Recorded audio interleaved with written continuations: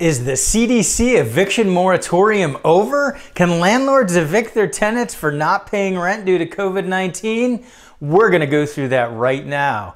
And make sure you stick around to the end where we're going to talk about the state of California's eviction moratorium, SB 91. Hey there, Christian Walsh Wire Associates. We're real estate brokers helping tenants and landlords and buyers and sellers navigate these crazy days in Southern California and beyond. And we're here with a big update on the CDC eviction moratorium. Things move very quickly. Just a few days ago, we had the CDC eviction moratorium then it was vacated, and then it, it's back on. So we're gonna go through all of that in this video. And remember, we can't give tax or legal advice, but for the most honest real estate advice, subscribe to this channel. So if you're ready to dive into the CDC eviction moratorium, hit that like button and let's get started.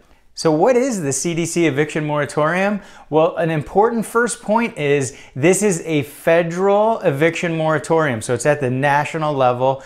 Understand that several states and areas have enacted their own eviction moratoria. And as long as they're more stringent than the CDC eviction moratorium, those will supersede the one at the national level. So using the Public Health Services Act, the Center for Disease Control issued on September 4th, 2020, an act that halted all residential evictions across the United States.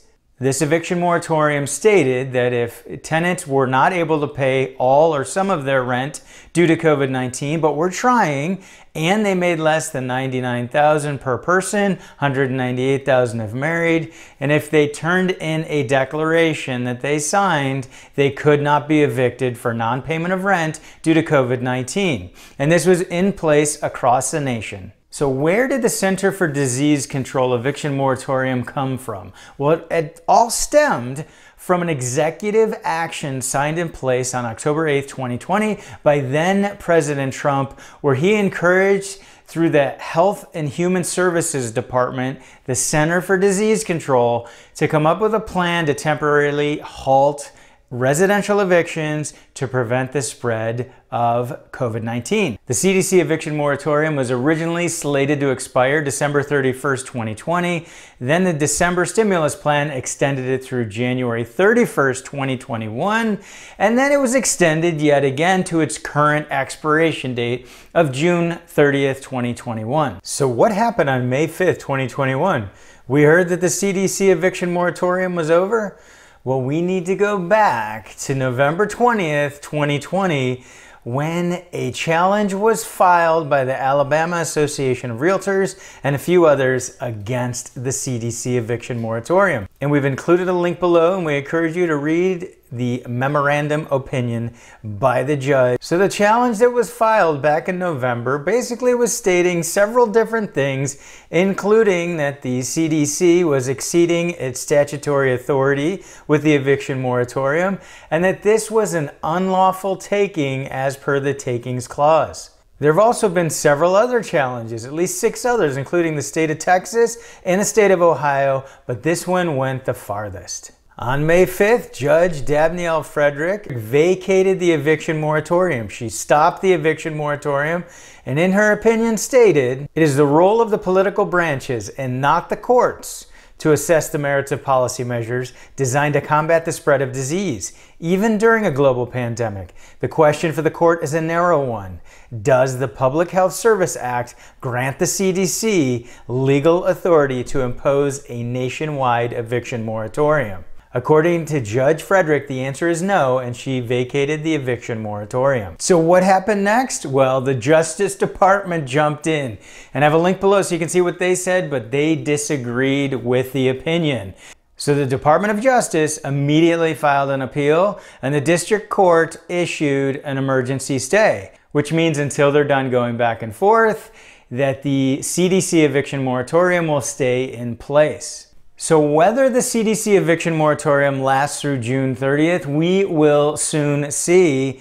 And I do feel that it is likely the fight will go on at least until June 30th and the national eviction moratorium will stay in place.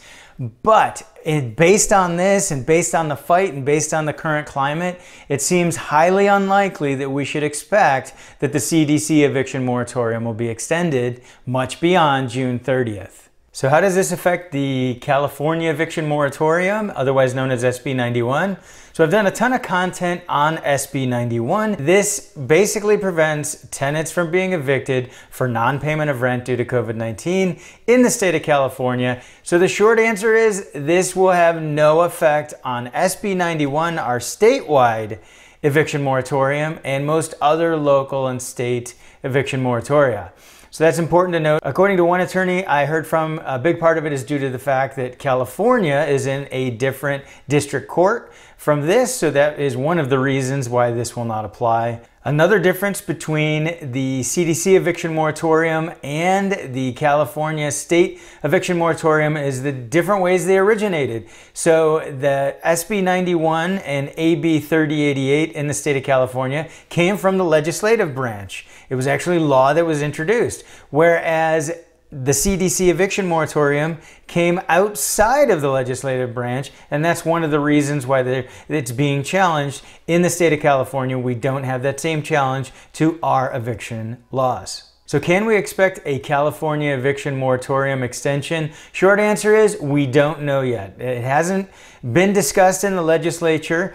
And just as a reminder, SB 91 was passed in the last few days just before AB 3088 expired. So there's always a chance as we get closer to the end of June that we will find either an extension or a new eviction moratorium bill put in place. And of course, Make sure you subscribe to this channel because I will be doing content to let you know what happens with both the CDC eviction moratorium and our statewide eviction moratorium. So leave your comments below. I want to know your thoughts on whether the eviction moratorium should be ended early on a national level, whether it should be allowed to end at June 30th, whether it should be extended beyond that. And I want to hear what you think in California as well. I know landlords and tenants are going to have different opinions, of course. Make sure you subscribe to our free weekly email newsletter. We cover topics like this, eviction moratoria, important items for tenants and landlords, buyers and sellers, and a whole lot more. You can click the link below or text newsletter to 949 691 3566. Thank you for tuning in. This has been Christian Walsh with Wire Associates, and we appreciate you.